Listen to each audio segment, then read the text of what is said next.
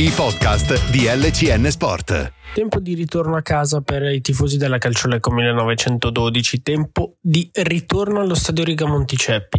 Giusto poche ore fa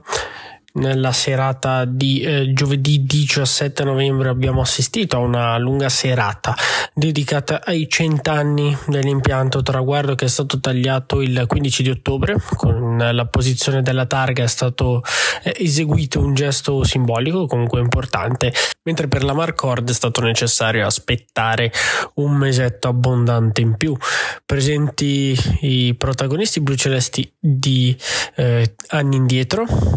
presenti i protagonisti blucelesti di oggi, qualcuno in entrambe le vesti, come mister Luciano Foschi che è stato giocatore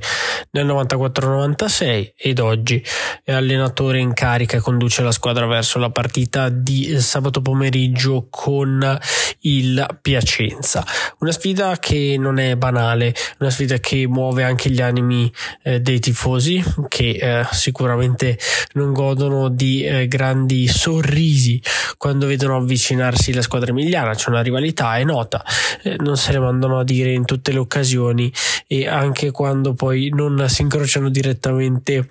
sugli opposti lati eh, del campo. Sono comparsi infatti degli striscioni per la città, città città che quindi è stata, mettiamo così, abbellita dai richiami verso la partita di sabato in programma alle ore 17.30 e in tal senso è ancora aperta la prevendita online e eh, fisica per non farsi delle code che spesso sono state importanti per entrare all'interno dell'impianto di Via Don Pozzi.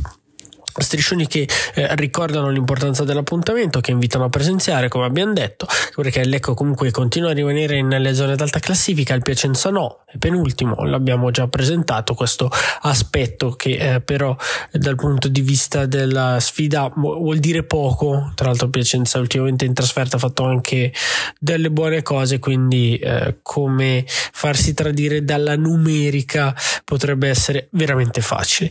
Attenzione quindi, però il Lecco potrebbe essere ancora una volta di più supportato da quei tifosi che da cento e rotti anni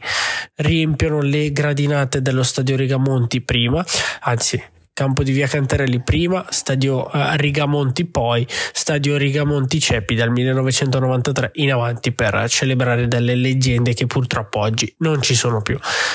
Tifosi che ovviamente rappresentano il cuore pulsante del blu celeste.